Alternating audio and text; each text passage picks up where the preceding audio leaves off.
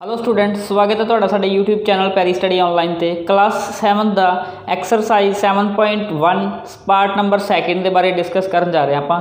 Question ਕੀ ਆਪਣੇ ਕੋਲ? Convert the following equations into statements ਆਪਾਂ ਨੂੰ ਇਕੁਏਸ਼ਨਸ ਗਿਵਨ ਹੈ। ਇਕੁਏਸ਼ਨਸ ਨੂੰ ਆਪਾਂ ਕੀ ਹੈ? ਸਟੇਟਮੈਂਟ ਦੇ ਵਿੱਚ ਕਨਵਰਟ ਕਰਨਾ ਹੈ। ਫਸਟ ਵੀਡੀਓ ਦੇ ਵਿੱਚ ਆਪਾਂ ਪੜਿਆ ਸੀਗਾ ਸਟੇਟਮੈਂਟ ਟੂ ਇਕੁਏਸ਼ਨ ਆਪਾਂ ਠੀਕ ਹੈ ਸਟੇਟਮੈਂਟ ਗਿਵਨ ਸੀ ਇਕੁਏਸ਼ਨ ਦੇ ਵਿੱਚ ਆਪਾਂ ਕਨਵਰਟ ਕੀਤਾ ਸੀ। ਅੱਜ ਆਪਾਂ ਰਿਵਰਸ ਜਾਣਾ ਇਕੁਏਸ਼ਨ ਗਿਵਨ ਹੈ ਸਟੇਟਮੈਂਟ ਦੇ ਵਿੱਚ ਕਨਵਰਟ ਕਰਨਾ ਹੈ। ਤਾਂ ਆਪਾਂ ਸਿਰਫ ਇਹਦੀ ਲੈਂਗੁਏਜ ਲਿਖਣਾ ਹੈ ਕੁਐਸਚਨ ਦੀ ਲੈਂਗੁਏਜ ਕੀ ਹੈ? ਪਹਿਲੇ ਕੁਐਸਚਨ 'ਚ 7p 40 42 ਮੈਂ ਦੱਸਿਆ ਸੀ, ਜਦੋਂ ਦੋ ਨੰਬਰ ਦੇ ਵਿੱਚ ਕੁਝ ਵੀ, ਇੱਕ ਇੰਗਲਿਸ਼ ਵਾਲਾ ਲੈਟਰ ਤੇ ਇੱਕ ਕੋਈ ਨੰਬਰ ਇਹਨਾਂ ਦੇ ਵਿਚਾਲੇ ਕੋਈ ਵੀ ਸਾਈਨ ਨਹੀਂ ਹੈ ਥੈਟ ਮੀਨਸ ਮਲਟੀਪਲਾਈ ਹੈ। ਤਾਂ ਆਪਾਂ ਲਿਖ ਸਕਦੇ ਹਾਂ 7p 7 multiply p is equal to 42 ਹੁਣ ਇਹਨੂੰ ਕਨਵਰਟ ਕਰਨਾ ਸਟੇਟਮੈਂਟ ਦੇ ਵਿੱਚ ਬਿਲਕੁਲ ਈਜ਼ੀ ਹੈ। ਦੋ ਨੰਬਰ ਦੀ ਮਲਟੀਪਲਾਈ ਹੋ ਰਹੀ ਹੈ। ਇੱਕ 7 ਦੀ ਤੇ ਇੱਕ p ਦੀ। ਆਪਾਂ ਲਿਖਾਂਗੇ the product of the product of 7 and p is equal to ਦਾ ਮੈਂ ਕੀ ਦੱਸਿਆ ਸੀਗਾ? ਇਜ਼ ਇਕੁਅਲ ਟੂ ਦਾ ਮੈਂ ਦੋ ਵਰਡ ਦੱਸੇ ਸੀ। ਜਾਂ ਤਾਂ ਇਜ਼ ਲਿਖ ਸਕਦੇ ਹਾਂ ਜਾਂ ਆਪਾਂ ਗਿਵਸ ਲਿਖ ਸਕਦੇ ਹਾਂ। ਤਾਂ ਆਪਾਂ ਗਿਵਸ ਲਿਖਾਂਗੇ। Gives 42 the product of 7 and p gives 42 ਮਤਲਬ 7 ਨੂੰ ਤੇ p ਨੂੰ ਜੇ ਆਪਾਂ ਮਲਟੀਪਲਾਈ ਕਰੀਏ ਤਾਂ ਇਜ਼ ਇਕੁਅਲ ਟੂ ਕਿੰਨਾ ਆ ਗਿਆ ਆਪਣੇ ਕੋਲ?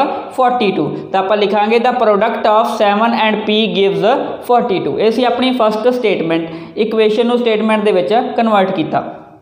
ਉਸ ਤੋਂ ਬਾਅਦ ਸੈਕਿੰਡ ਸੈਕਿੰਡ ਕੀ ਆ ਗਿਆ 2p 5 14 ਜੇ ਆਪਾਂ ਨੂੰ ਸਿੰਪਲ ਲੈਂਗੁਏਜ ਦੇਖੀਏ ਦੋ ਨੰਬਰ ਦੀ ਪਹਿਲਾਂ ਮਲਟੀਪਲਾਈ ਹੋ ਰਹੀ ਹੈ ਫਿਰ ਉਹਦੇ ਵਿੱਚ 5 ਐਡ ਕਰ ਰਹੇ ਹਾਂ ਕਿੰਨਾ ਮਿਲ ਰਿਹਾ ਆਪਾਂ ਨੂੰ 14 ਮਿਲ ਰਿਹਾ ਤਾਂ ਆਪਾਂ ਲਿਖਾਂਗੇ the product of the product of p and 2 is added to 5 gives 14 ਦੇਖੋ p ਦਾ ਤੇ 2 ਦੀ ਪ੍ਰੋਡਕਟ ਹੋ ਰਹੀ ਹੈ। P ਤੇ 2 ਦੀ ਪ੍ਰੋਡਕਟ ਹੋ ਗਈ। ਐਡ ਕਿੰਨਾ ਕਰ ਰਹੇ ਆਪਾਂ? ਐਡ ਕਿੰਨਾ ਕਰ ਰਹੇ ਆਪਾਂ? 5 ਇਜ਼ ਇਕੁਅਲ ਟੂ ਕਿੰਨਾ ਆ ਰਿਹਾ ਆਪਣੇ ਕੋਲ? 14 ਤਾਂ ਇਹ ਲੈਂਗੁਏਜ ਆਪਾਂ ਇਸ ਤਰੀਕੇ ਨਾਲ ਲਿਖ ਸਕਦੇ ਆ the product of p and 2 is added to 5 gives 14 ਆਪਾਂ ਨੂੰ ਕਿੰਨਾ ਮਿਲ ਰਿਹਾ? 14 ਉਸ ਤੋਂ ਬਾਅਦ ਥਰਡ ਕੁਐਸਚਨ ਥਰਡ ਕੁਐਸਚਨ ਦੇ ਵਿੱਚ ਕੀ ਹੈ? ਪਹਿਲਾਂ ਦੋ ਨੰਬਰ ਦੀ ਮਲਟੀਪਲਾਈ ਹੋ ਰਹੀ ਹੈ। 3 ਤੇ n ਦੀ ਮਲਟੀਪਲਾਈ ਹੈ। ਮਾਈਨਸ ਕਿੰਨਾ ਕਰ ਰਹੇ ਆਪਾਂ? 9 ਠੀਕ ਹੈ? ਆਪਾਂ ਨੂੰ ਕਿੰਨਾ ਮਿਲ ਰਿਹਾ? 18 ਮਿਲ ਰਿਹਾ। ਤਾਂ ਆਪਾਂ ਕਿਸ ਤਰੀਕੇ ਨਾਲ ਲਿਖਾਂਗੇ? ਦੇਖੋ। ਜਦੋਂ ਮਾਈਨਸ ਵਾਲਾ ਆ ਗਿਆ ਤਾਂ ਆਪਾਂ ਇਸ ਤਰ੍ਹਾਂ ਲਿਖਾਂਗੇ 9 ਇਜ਼ ਸਬਟ੍ਰੈਕਟਡ ਫਰੋਮ ਠੀਕ ਹੈ 9 ਆਪਾਂ ਸਬਟ੍ਰੈਕਟ ਕਰ ਰਹੇ ਹਾਂ 9 is subtracted from product of 3 and n gives 18 gives 18 ਦੇਖੋ ਪਹਿਲਾਂ 3 ਤੇ n ਦੀ ਕੀ ਹੋ ਰਹੀ ਹੈ ਪ੍ਰੋਡਕਟ ਹੋ ਰਹੀ ਹੈ ਸਬਟਰੈਕਟ ਕਰਨਾ ਹੈ, ਆਪਾਂ ਦੱਸਿਆ ਸੀ ਜਿਹੜਾ ਫਰੋਮ ਤੋਂ ਬਾਅਦ ਵਾਲਾ ਹੁੰਦਾ, ਉਹਨੂੰ ਪਹਿਲਾਂ ਲਿਖਦੇ ਆ ਫਰੋਮ ਤੋਂ ਬਾਅਦ ਕੀ ਹੈ? ਪ੍ਰੋਡਕਟ ਆਫ 3 ਐਂਡ n 3 ਤੇ n ਦੀ ਮਲਟੀਪਲਾਈ ਕੀਤੀ। ਸਬਟਰੈਕਟ ਦਾ ਮਤਲਬ ਕੀ ਆ ਗਿਆ? ਮਾਈਨਸ ਕਿੰਨਾ ਮਾਈਨਸ ਕਰਨਾ ਹੈ? 9 ਇਜ਼ ਇਕੁਅਲ ਟੂ ਨਾ ਆਪਾਂ ਕੀ ਲਿਖਿਆ? ਗਿਵਸ ਤਾਂ ਕਿੰਨਾ ਆ ਗਿਆ ਆਪਣੇ ਕੋਲ? 18 that is the statement number 3 ਉਸ ਤੋਂ ਬਾਅਦ ਆ ਗਿਆ ਆਪਣੇ ਕੋਲ D part 3 by 8x 16 is equal to 2 same ਆਪਣੇ ਕੋਲ ਸੇਮ ਸਟੇਟਮੈਂਟ ਹੈ ਹੁਣ ਆਪਾਂ 16 ਨੂੰ ਕੀ ਕਰ ਰਹੇ ਹਾਂ ਸਬਟ੍ਰੈਕਟ ਕਰ ਰਹੇ ਹਾਂ ਤਾਂ ਆਪਾਂ ਲਿਖਾਂਗੇ 16 is subtracted from product of x and 3 by 8 gives 2 ਦੋ ਨੰਬਰ ਦੀ ਪ੍ਰੋਡਕਟ ਕਰ ਰਹੇ ਆ ਕਿਹੜੇ ਕਿਹੜੇ ਦੀ? X ਦੀ ਤੇ 3/8 ਦੀ। ਸਬਟ੍ਰੈਕਟ ਕਿਹਨੂੰ ਕਰਨਾ ਆਪਾਂ? ਸਬਟ੍ਰੈਕਟ ਦਾ ਮਤਲਬ ਮਾਈਨਸ ਕਿਹਨੂੰ ਸਬਟ੍ਰੈਕਟ ਕਰਨਾ ਆਪਾਂ? 16 ਇਜ਼ ਇਕੁਅਲ ਟੂ ਕਿੰਨਾ ਆ ਰਿਹਾ? ਆਪਣੇ ਕੋਲ 2 ਦੈਟ ਮੀਨਸ ਗਿਵਸ 2 ਇਹ ਆਪਣੇ ਕੋਲ ਸੀ ਸਟੇਟਮੈਂਟ ਨੰਬਰ 4 ਉਸ ਤੋਂ ਬਾਅਦ e ਪਾਰਟ e ਤਾਂ ਬਿਲਕੁਲ ਸਿੰਪਲ ਹੈ। ਆਪਾਂ x ਦੇ ਵਿੱਚ ਕੀ ਆ? 3 ਐਡ ਕਰ ਰਹੇ ਆ x ਦੇ ਵਿੱਚ 3 ਐਡ ਕਰ ਰਹੇ ਆ ਕਿੰਨਾ ਮਿਲ ਰਿਹਾ ਆਪਾਂ ਨੂੰ? 14 ਤਾਂ ਆਪਾਂ ਲਿਖਾਂਗੇ। Number is number is added to number is added to 3 gives 14 number ਕੀ ਆਪਣੇ ਕੋਲ x.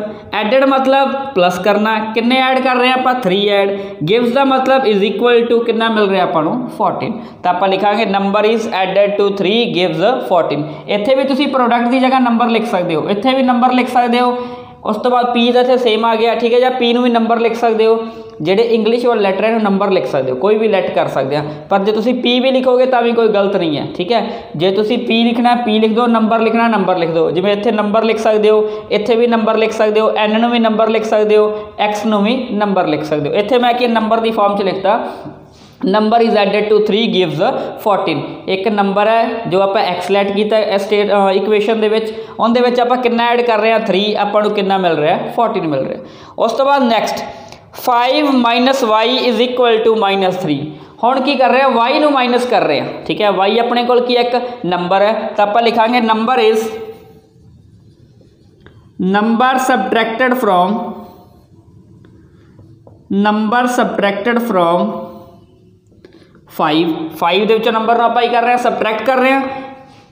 ਗਿਵਸ -3 5 ਦੇ ਵਿੱਚੋਂ ਨੰਬਰ ਨੂੰ ਕੀ ਕਰ ਰਹੇ ਹਾਂ ਸਬਟ੍ਰੈਕਟ ਨੰਬਰ ਆਪਣੇ ਕੋਲ ਕੀ ਹੈ? Y ਸੋ 5 y -3 ਇਹ ਸੀ ਆਪਣੇ ਕੋਲ ਸਟੇਟਮੈਂਟ ਨੰਬਰ f ਜਿੰਦੇ ਵਿੱਚ ਕੀ ਆਪਾਂ ਨੰਬਰ ਨੂੰ ਸਬਟ੍ਰੈਕਟ ਕੀਤਾ। ਨੰਬਰ ਲੈਟ ਕਰਨਾ ਆਪਾਂ ਕਿਹੜਾ?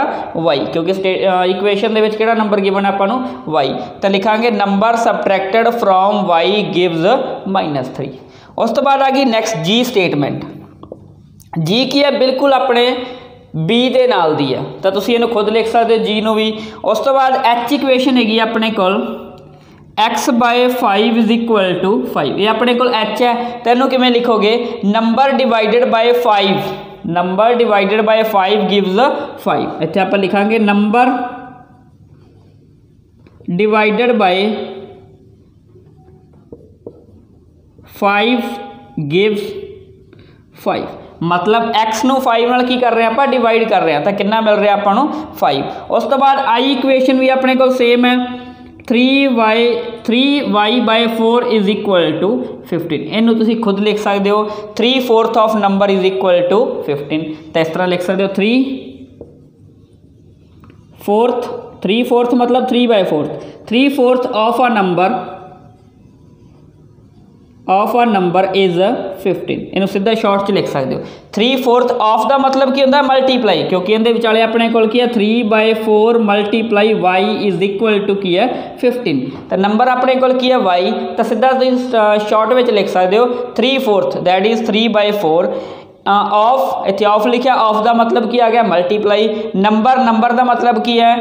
ਆਪਣੇ ਕੋਲ y ਇਸ ਦਾ ਮਤਲਬ ਇਜ਼ ਇਕੁਅਲ ਟੂ ਉਸ ਤੋਂ ਬਾਅਦ ਕੀ ਆ ਗਿਆ ਆਪਣੇ ਕੋਲ 15 ਤਾਂ ਸਿੱਧਾ ਹੀ ਆਪਾਂ ਲਿਖ ਸਕਦੇ ਆ 3/4 of number is 15 that is the ਇੱਕ ਕੁਐਸਚਨ ਨੰਬਰ 2 ਇਹ ਆਪਣੇ ਕੋਲ ਕੁਐਸਚਨ ਨੰਬਰ 2 ਹੈ ਜਿੰਦੇ ਵਿੱਚ ਆਪਾਂ ਨੂੰ ਇਕੁਏਸ਼ਨ ਗਿਵਨ ਸੀ ਇਕੁਏਸ਼ਨ ਨੂੰ ਆਪਾਂ ਸਟੇਟਮੈਂਟ ਦੇ ਵਿੱਚ ਕਨਵਰਟ ਕੀਤਾ। ਜਸਟ ਆਪਾਂ ਕੀ ਕੀਤਾ? ਸਿੰਪਲ ਜੋ ਇਕੁਏਸ਼ਨ ਸੀਗੀ, ਜੇ ਪਲੱਸ ਆ ਤਾਂ ਐਡਰ ਲਿਖਤਾ ਸਬਟ੍ਰੈਕਟ ਮਾਈਨਸ ਆ ਤਾਂ ਸਬਟ੍ਰੈਕਟਰ ਲਿਖਤਾ ਮਲਟੀਪਲਾਈ ਆ ਪ੍ਰੋਡਕਟ ਲਿਖਤਾ। ਜੇ ਆਪਣੇ ਕੋਲ ਜੇ ਇੱਕ ਇਜ਼ ਇਕੁਅਲ ਟੂ ਕੁਝ ਪਿਆ, ਤਾਂ ਆਪਾਂ ਕੀ ਲਿਖਿਆ ਉੱਥੇ? ਗਿਵਸ ਲਿਖਿਆ। ਮੋਸਟਲੀ ਆਪਾਂ ਕੁਐਸਚਨ ਦੇ ਵਿੱਚ ਗਿਵਸ ਲਿਖਿਆ। ਨਹੀਂ ਤਾਂ ਆਪਾਂ ਕੀ ਹੈ ਇਜ਼ ਵੀ ਲਿਖ ਸਕਦੇ ਹਾਂ ਇਜ਼ ਇਕੁਅਲ ਟੂ ਜਾਂ ਇਜ਼ ਵੀ ਲਿਖ ਸਕਦੇ ਹਾਂ ਨਹੀਂ ਤਾਂ ਆਪਾਂ ਗਿਵਸ ਲਿਖਾਂਗੇ। ਇਹ ਸੀ ਆਪਣੇ ਕੋਲ ਕੁਐਸਚਨ ਨੰਬਰ 2